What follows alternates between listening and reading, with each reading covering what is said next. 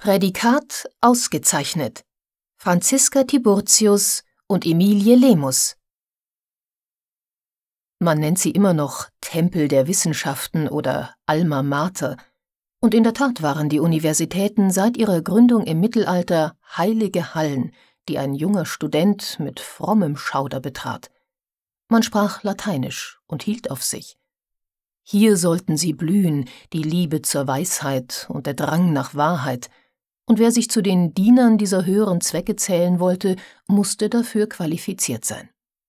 Es verstand sich bis vor gut hundert Jahren von selbst, dass die Hälfte der Menschheit, die weibliche, außen vor zu bleiben hatte. Ausnahmen hat es immer wieder gegeben. Insbesondere in der Heilkunst machten ab und an Frauen von sich reden, die aufgrund von Sondergenehmigungen universitäres Wissen erworben hatten. So Dorothea Christiane von Erxleben, die von ihrem Vater zur Ärztin ausgebildet worden war und durch die gnädige Erlaubnis Friedrichs II. von Preußen im Jahre 1741 in Halle promovieren konnte. Aber solche Paradiesvögel schufen keine neue Norm. Sie waren die Ausnahmen, welche die Regel bestätigten. Frauen hätten an den Hochschulen nichts verloren. Es gab jedoch ein jahrhundertealtes weibliches Wissen, das außerhalb der Universitäten und Hochschulen, vom Kräuterweiblein zur Geburtshelferin und von dieser zur Familienmutter weitergegeben wurde. Außerdem achtete man in alten Zeiten die Erfahrung der Großmütter. Sie konnten als Hebammen bei einer Entbindung wertvolle Hilfe leisten, weil sie anders als die männlichen Doktoren am eigenen Leibe erfahren hatten, was bei einer Geburt geschieht. Die Neuzeit definierte die Wissenschaften noch einmal um. Sie sollten exakt sein und ihre Resultate der Überprüfung standhalten. In der Medizin hieß das Weg mit der Gesundbeterei und den Kräuterweiblein. Auch das Hebammenwesen wurde von der akademischen Ärzteschaft erbittert bekämpft. Nur wer einen universitären Abschluss vorweisen konnte, durfte Kranke behandeln und Kindern auf die Welt helfen. Da aber nun keineswegs im Gegenzug die Universitäten für Frauen geöffnet wurden, hieß das, weibliches Wissen um die Heilkunst wurde entwertet. Die Praxis von Frauen am Kranken- und Wochenbett kriminalisiert. Die männliche Ärzteschaft besetzte das Feld der Medizin bis in den letzten Winkel.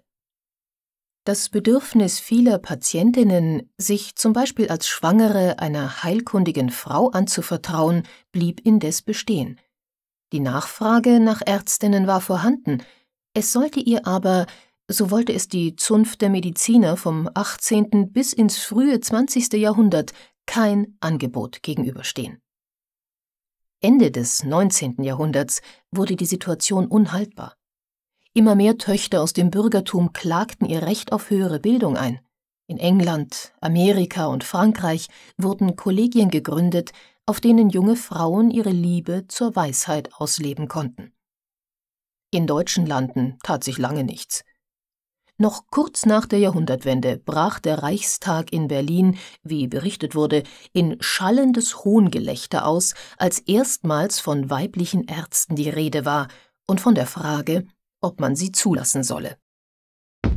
Sie hörten eine Hörprobe aus der Reihe Die erste Mutige Frauen verändern die Welt von Barbara Sichtermann und Ingo Rose.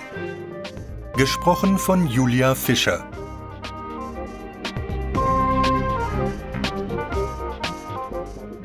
Weitere Informationen und Downloadmöglichkeiten zu diesem Hörbuch und dieser Hörbuchreihe mit Biografien außergewöhnlicher Frauen sowie dem Verlagsprogramm von CC Life finden Sie im Internet unter www.frauengenial.de sowie www.cclife.de.